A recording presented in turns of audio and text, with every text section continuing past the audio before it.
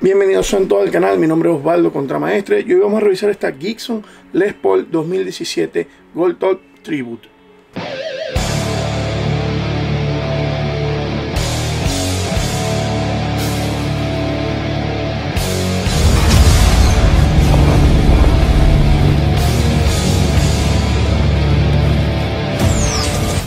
Chequear una Gibson Les Paul muy interesante, que es uno de los seis modelos lanzados en el NAN del 2017 por parte de Gibson. Esta serie llamada Tribute es basada en unos modelos bastante clásicos. Y uno de esos modelos es el que le vengo a presentar a continuación, que tiene este acabado gold top satinado y que me da la impresión que con algo de uso vamos a tener unas señales de relic sin tanto esfuerzo, pero que le van a quedar bien, que le van a quedar elegante. Tenemos cuatro potenciómetros, son los controles típicos de una Les Paul y tenemos dos micrófonos 490.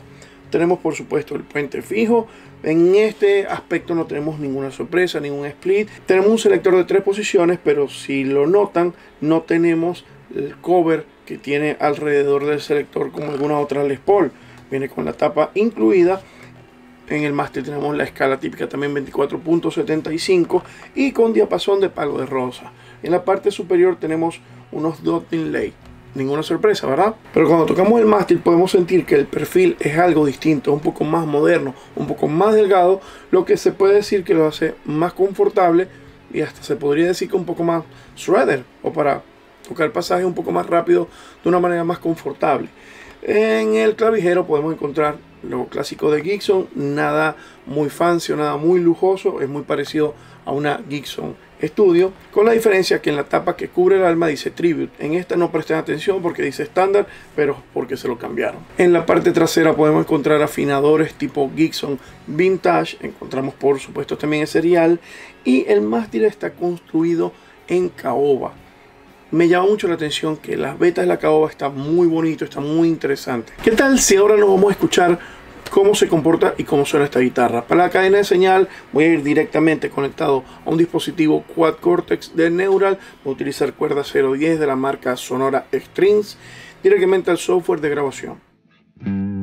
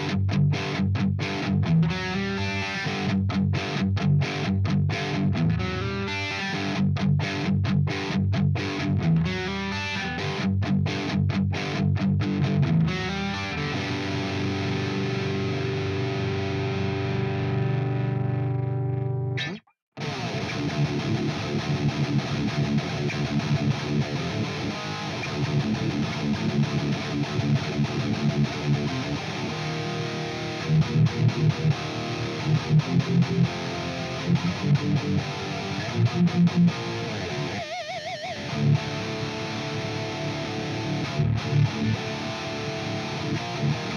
back.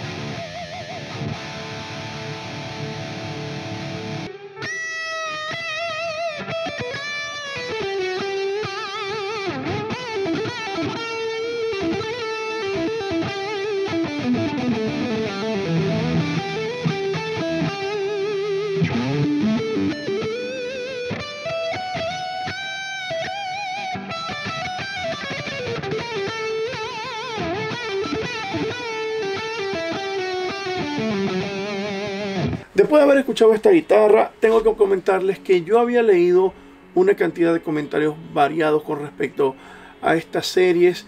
La mayoría eran positivos, sin embargo, también llegué a leer un par que tenían algo de descuidado los acabados, que tal vez el mástil. Yo les puedo decir que en el caso de la guitarra que me ha tocado, creo que he tenido suerte, porque si bien no es la mejor Gibson Les Paul que he probado en mi vida, creo que tiene unos acabados muy decentes considerando su precio. Y esa es una de las cosas que puede ser una gran sorpresa porque, vamos a estar claros, miren el look de esta guitarra. Esta guitarra es linda, bella y hermosa, a pesar de ser sencilla, pero nada más con el cambio de color. Es una guitarra que no pasa desapercibido. Pero ¿qué sucede? Es que esta guitarra no es cara. Esta guitarra cuesta incluso menos que algunas estudios, me da la impresión. Esta guitarra originalmente, su precio, y voy a empezar por aquí, salió en 900 dólares. 900 dólares americanos por esta guitarra me parece un gran precio. Pero vamos a continuar con lo que siempre mencionamos, que qué le agregaríamos o qué le cambiaríamos.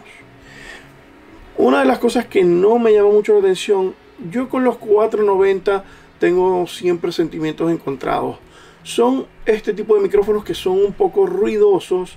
En algunas guitarras encajan perfecto, en otras guitarras siento que traen ruidos indeseados que no me agradan. Aquí quedé solamente ok, los acepto. Creo que pueden sobrevivir en esta guitarra, pero no son mis micrófonos preferidos. Yo asumo que con unos Burst Booker originales de Gibson esta guitarra hubiera sido muy superior.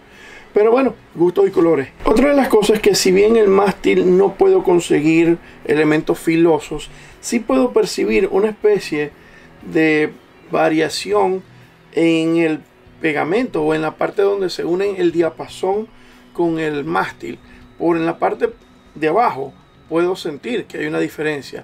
¿Se puede sobrevivir con esto? Sí, pero vamos a estar claros, es una Gibson, debería tener unos estándares de control de calidad altos. O sea, siento que los controles de calidad son muy parecidos a los de un estudio. Y si vemos acerca del diapasón, también se ve un poco descuidado, no está mal, pero no es una seda. No es el mejor mástil que he probado de Gibson, sin embargo está bien, está ok. Vamos con que me gusta de esta guitarra. Ya les mencioné el precio. ¿Eso qué significa? Que básicamente después de tener el logo Gibson en el clavijero, casi todo es ganancia. Tiene un soft case original Gibson que es uno de mis preferidos. Es de cuero, es fácil de transportar, es bastante suave, o sea la guitarra se va a proteger bastante. Entonces, fíjense, una Gibson Les Paul Studio viene con un soft case o un gigback o un estuche, forro como lo quieran llamar, que es bastante genérico, nada lujoso.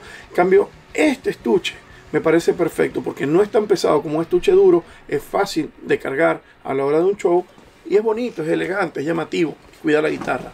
Otra de las cosas que me gusta de esta guitarra es que tiene un wave relief, es decir, en este eligieron utilizar el de 9 hoyos dentro de la guitarra. ¿Para qué? Para que no pese tanto. Tengo un par de guitarras aquí que no tienen que ver con Gibson, no tienen que ver con ninguna de estas guitarras, son más pesadas que esta. Sea, es una guitarra que se pudiera usar en show largo o de repente como tu guitarra principal si eres un tipo que anda de bares o de pequeños clubes y quiere tener una guitarra con cierto carácter sin tener mucho peso en la espalda. Esta guitarra puede ser la tuya. Otra cosa que me gusta es que a pesar de yo no ser demasiado fanático de este tipo de afinadores, no porque no me gusten visualmente o no le queda la guitarra, siento que eso está perfecto. A veces no son tan exactos. Sin embargo, en la afinación de esta guitarra todo se ha comportado a la altura. Otro detalle que me gusta de esta guitarra son los potenciómetros y el estilo le quedan perfecto. Y otra de las cosas que me gusta mucho es su relación calidad-precio.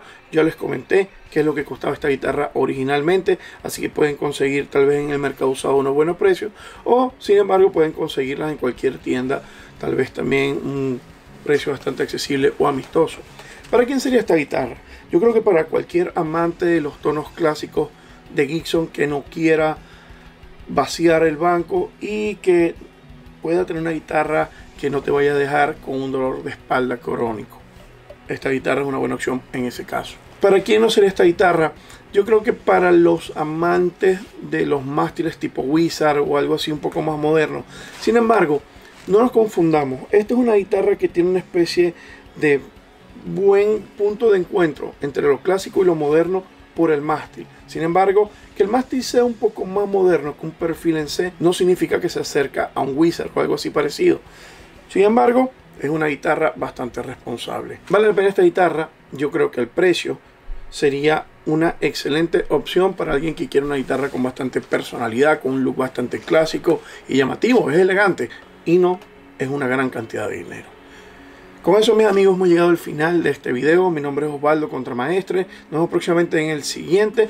Y recuerden que si conocen a alguien que el contenido que aquí generamos le puede ser de utilidad o incluso nada más de entretenimiento, déjenselo llegar.